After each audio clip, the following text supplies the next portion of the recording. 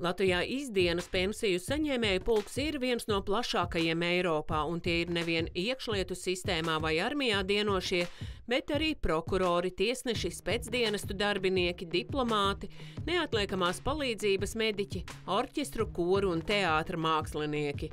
Kultūras ministrs Nauris Puntulis ir viens no vairāk nekā desmit tūkstošiem izdienas pensiju saņēmējiem. Pērn līdz ar 80 tūkstošu eiro ministra gada algu viņš pensijā saņēmis vēl 9 tūkstošus eiro. Puntulis pensiju saņem kopš 2019. gada, kad kļuva par kultūras ministru. Nu, jā, es neturpinu savas gaitas kā savā pamatprofesijā, kā operas dziedātājs. Un, ja arī ministra, ministra darbības laikā es trīs sezonas esmu salīdzinoši aktīvi dziedājis eh, Nacionālā operā, tad es par to neesmu saņēmis atalgojumā nevienu santīmu. Kad pirms diviem gadiem vēl iepriekšējā valdība aiz slēgtām durvīm sprieda par iespējamo budžeta izdevumu pārskatīšanu, viens no uzdevumiem bija līdz 22. gada beigām sagatavot priekšlikumus jauna izdienas pensiju modeļa izstrādēji. Tagad ziņojums ir gatavs, tomēr pagaidām to apspriež vien neformāli, un nav skaidrs, kad tas varētu nonākt valdības oficiālajā dienas kārtībā. Labklājības ministre par to runāt nevēlas un nesola būt arī procesa iniciators.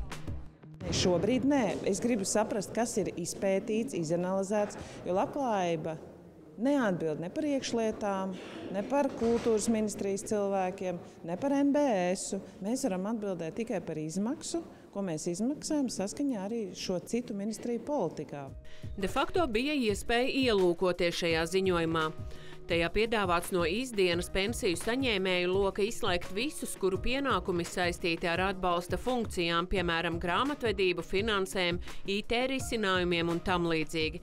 Tāpat viena no idejām ir daļai profesiju izdienas pensijas piešķirt tikai uz noteiktu laiku, līdz sešiem gadiem, lai pārkvalificētos un mudinātu no jauna iekļauties darba tirgū. Tam, ka izdienas pensiju joma jāpārskata, kultūras ministrs piekrīt, tomēr viņa prāta kultūras nozare īpašais atbalsts ir saglabājams. Tas, ka saraksts būtu pārskatāms un droši vien, ka nu, man ir jābūt egoistiskam un jāsaka, ka citu ministriju, um, citu ministriju rīcībā esošais saraksts noteikti būtu prioritārāk pārskatāms nekā, nekā kultūras ministrijas. Bet jā, nu, šis ir darbs, pie kā visi mēs kopā varētu ķerties klāt, lai tas būtu gan jēgpilni, gan valstiski atbildīgi. Reformas autori piedāvā precizēt izdienas pensiju saņēmēju loku, to iedalot divās grupās. Pirmā būtu saistīta ar paaugstinātu risku dzīvībai un veselībai, turklāt tikai izpildoties noteiktiem kritērijiem, bet otra grupa ietvertu tos, kuru profesionālās iemaņas ar laiku mazinās vai zūd, un tas vistiešāk attiektos uz kultūras nozares pārstāvjiem un pie šādiem scenārijiem pie izdienas pensijām no jauna tiktu piemēram vidi izmeklētāji, bet tās vairs nebūtu prokuroriem, tiesnešiem, mediķiem, iespējams arī diplomātiem. Taču jau tagad var prognozēt, ka diskusijas par reformu būs smagas, jo ziņojuma saturam iebilduši visi dienesti, uz kuriem pārmaiņas attiektos. Es vēlreiz saku, tas uh, premjeras izteikumu un, un finanšu ministra disk, diskusijas par šo tēmu jau tā šobrīd ir uzlikusi ļoti daudz uh, jautājumu zīmes cilvēkiem, kas strādā valsts iekšējai drošībai. Tas man zināmā mērā baida, jo tev nav sagatavot sistēmu, kas, kas, kas, kas dod motivāciju, tad labāk necilāt šobrīd. Viens no mēģinājumiem sakārtot izdienas pensiju jomu, tostarp ceļot saņēmēju vecumu un mazinot saņēmēju loku, bija jau pirms desmit gadiem.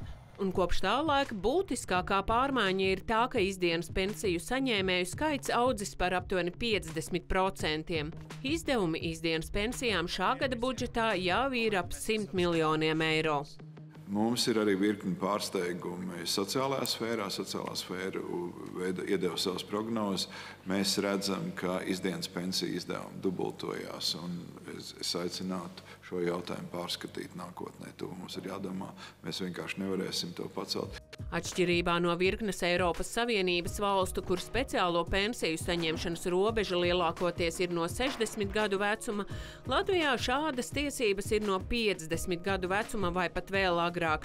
Turklāt aptuveni 75% izdienas pensiju saņēmēju visbiežāk darba attiecības turpina. Tiesa gan, lai saņemtu algu un pensiju vienlaikus, darba vieta jānomaina.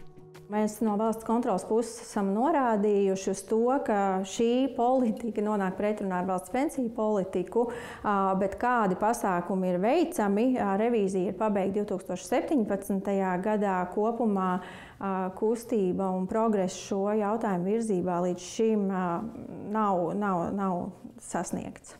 Jaunajā ziņojumā tiek piedāvāts arī paaugstināt vecumu, no kura būs iespējams doties izdienas pensijā, kā arī pārskatīt šīs pensijas apmērus, to vairāk pietuvinot vecuma pensijai.